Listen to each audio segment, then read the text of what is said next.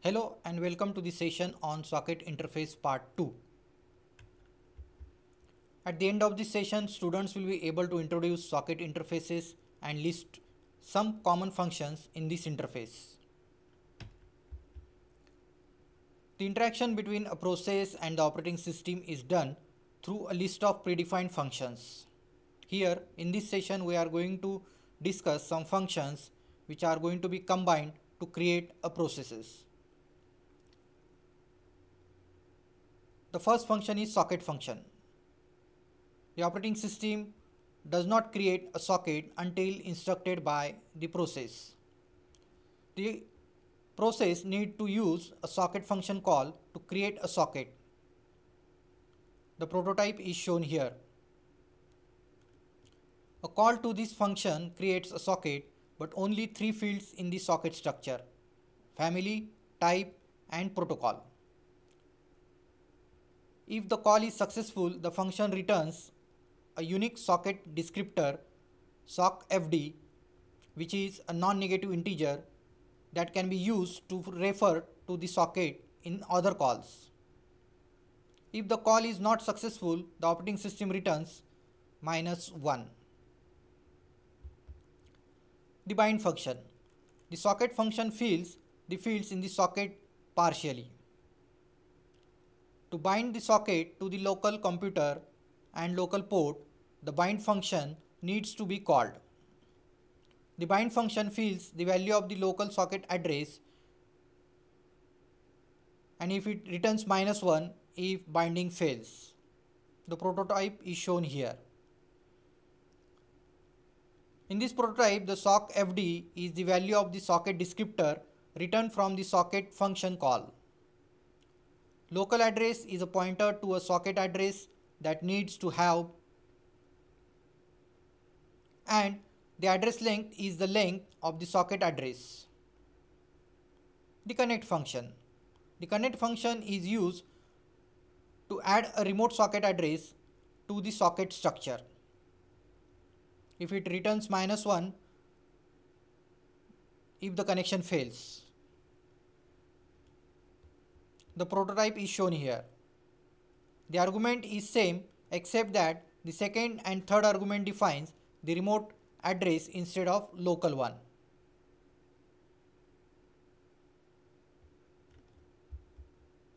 The listen function. The listen function. The listen function is called only by the TCP server. After TCP has created and it must inform the operating system that a socket is ready for receiving client requests. The accept function. The accept function is used by a server to inform TCP that it is ready to receive connections from clients. And this function return minus 1 if it fails. The prototype is shown here. The last two arguments are pointers to address and to length. The accept function is a blocking function that when called blocks itself until the connection is made by a client. The accept function then gets the client socket address and the address length and passes it to the server process to be used to access the client. The fork function. The fork function is used by a process to duplicate a process. The process that calls the fork function is referred to as a parent process and a process which is going to be created the duplicate is called the child process. And here it is interesting that the fork process is called once but it returns twice. In the parent process the return value is a positive integer in the child process, the return value is 0. If there is an error, the fork function returns minus 1 if it fails. After the fork, two processes are running concurrently and the CPU gives running time to each process alternatively. Send and receive function. The send function is used by a process to send data to another process running on a remote machine. The receive function is used by a process to receive data from another process running on a remote machine. The functions assume that there is already an open connection between two machines and it can be only be used by TCP or may other protocol like HTTP. These functions returns the number of bytes sent or received. Here the sock FD is a socket descriptor, send buffer is a pointer to the buffer where data to be sent have been stored. Receive buffer is a pointer to the buffer where the data received to be stored. n bytes is the size of the data to be sent or received.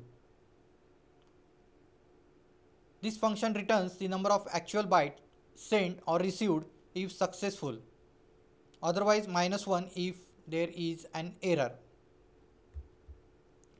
Send to and receive from functions. The send to function is used by a process to send data to a remote process using services of UDP. The receive from function is used by a process to receive data from a remote process using a services of UDP. UDP is a connectionless protocol. One of the argument defines the remote socket address. Here the sock FD is the socket descriptor. Buffer is a pointer to the buffer where the data to be sent or the data to be received is stored and the buffer length is the length of the buffer. The value of the flag can be non-zero but here we are going to set it as 0 for our uh, simple programs. These functions return the number of bytes sent or received if successful and minus 1 if there is an error. The close function.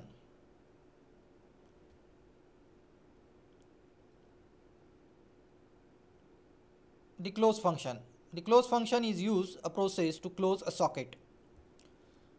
The sock FD is not valid after calling this function. The sock returns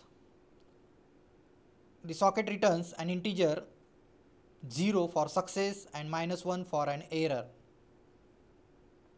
Byte ordering function.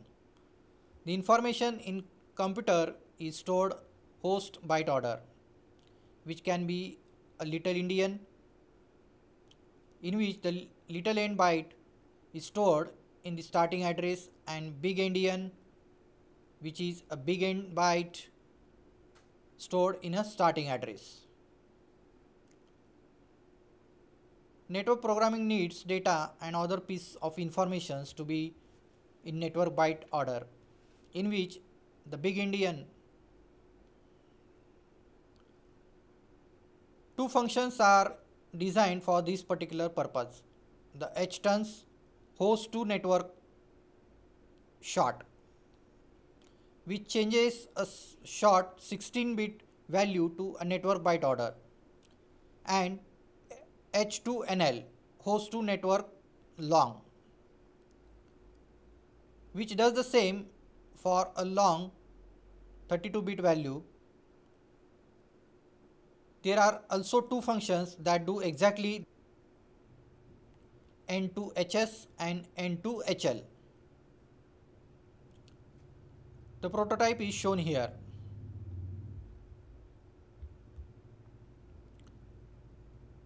The memory management function.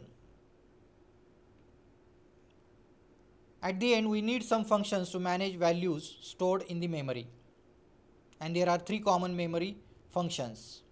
The first function memset that is memory set is used to set a specified number of bytes in the memory defined by the destination pointer. The second function mem memory copy is used to copy a specified number of bytes from a part of a memory to another part of memory that is from source to destination. The third function memory compare which is used to compare two sets of bytes starting from pointer 1 and pointer 2 and the result is 0 if two sets are equal. It is less than 0 if the first set is smaller than the second and it is greater than 0 if the first set is larger than the second.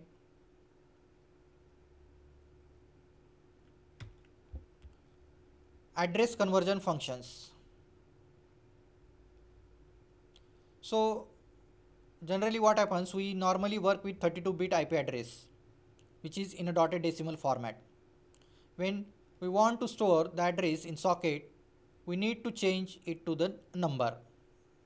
And there are two functions which are used to convert an address from a presentation to a number and vice versa. inet_pton presentation to number and inet n2p number 2 presentation. Header files. To use just describe the functions we need a set of header files and we define these header files in a separate file okay in header files.h we include the files in our programs to avoid including long list of the header files. The header files which are going to be used in the programs are shown here. Pause the video, think and answer. The answer is C. Here is the reference. Thank you.